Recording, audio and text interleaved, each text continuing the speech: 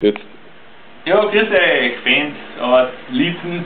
Äh, ich habe natürlich riesig gefreut, dass der Marc aufgekommen ist. Vielleicht passt das nächste Mal, dass mehrere mit aufkommen. Ich glaube nämlich, der Marc hat ziemlich viel Spaß gehabt jetzt im Stadion und auch in den Bergen hat er mir nicht getaugt. Ja, er ist äh, sozusagen ein Glücksbringer, der Marc. Wir haben 20 gewonnen heute und ein Tor habe ich auch noch geschossen und äh, ja, äh, bin natürlich überglücklich und ich glaube, der Marc hat es auch ganz gut gefallen und ich wünsche ihm eine gute Heimreise und noch einen schönen Gruß nach Lietzen.